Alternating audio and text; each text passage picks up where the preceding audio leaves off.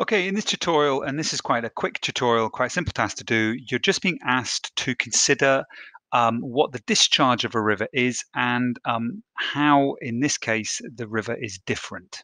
So let's just have a, first of all, a little consideration of what we're seeing in these two photographs, and then have a look at the particular question you're being asked to answer. Now, this is a photo taken of the same river at two different times of the year. We can see clearly that we're in summertime in this photo because we've got lots of vegetation growth around our river. And we can see uh, in this photograph that it's wintertime because there's no leaves on the tree. Now, that has a, a, a distinct impact the time of year because wintertime is likely to be much wetter, which partly explains why there's a lot more water in this river. Um, and also, because there's no vegetation on the trees anymore, there's less vegetation to intercept and absorb rainwater. And therefore, all of the rain that falls on this uh, landscape or, or onto this drainage basin, and that's the land that surrounds this river, is probably not going to be absorbed by vegetation. Rather, it's just going to transfer across the surface into the river.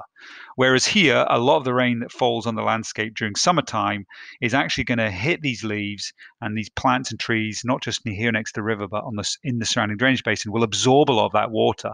So actually, quite a lot of the water will never transfer down to this river because it's not just uh, absorbed, but then it's transpirated or evapotranspirated is the technical word back up into the sky. So let's just that's uh, that's what we're seeing in the photo. We're now thinking about discharge, and this is a really key word in this um, section of the topic. As a matter of fact, from this point forward, we are going to be dealing with discharge. Uh, when we do our main river investigation after the summer, we are also going to be dealing with discharge. Okay, so what is discharge? Well, discharge is the um, volume of water passing a given point in the river every second.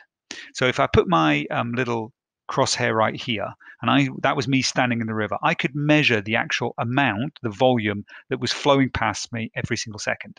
And if i jumped into the river here i could measure the volume or the discharge of water passing me at this. And because water's moving we can't just think of it as a volume but it's a it's a volume that's traveling. Um, and we call this cumecs okay? And cumecs stands for cubic meters per second. So this is what we measure discharge in. Okay, so discharge is measured in the cubic meters per second. Just think of it as the volume of water passing you every single second. And what's very clear in these two photographs, and this is the first descriptive difference, which will answer your question below, which you can see describe the differences between the two pictures, is that the discharge in the right hand photo is clearly much higher. The river has a much higher discharge. Um, other things is that the river in the right hand side is clearly deeper and that's because there's far more water in it. The river is actually filling more of its channel now. We can see it's covering the entire channel, whereas here it's only covering a small portion of the channel, and therefore the width has increased. If I was a kayaker, I would spot another difference. The river here is probably traveling much faster, therefore it is uh, its velocity is quicker on the right hand side because there is less water, uh, because there's more water in the channel, it's actually flowing much easier. There is less friction in the channel on the right hand side. Whereas when we look at the left hand side, we can see because it's shallower, there's actually rapids developing here. And these rapids, these rocks in the river are actually slowing the river down, increasing the amount of friction. So there's a lot more friction in the left hand side picture, which causes the water to travel slowly. The right hand picture, because it's deeper and therefore there's the rocks are down at the bottom of this river at the moment. There's less friction and that causes it to travel faster. Final big difference that you can see is that the, the river looks much dirtier here.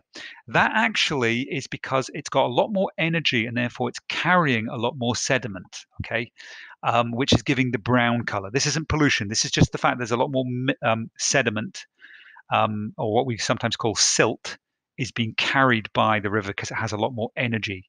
Whereas in the left hand picture, it's got very little energy, so it's not carrying much um, mud and sand and dirt, and therefore it looks much cleaner. So there you go. You should be able to use all my key ideas to um, answer this task.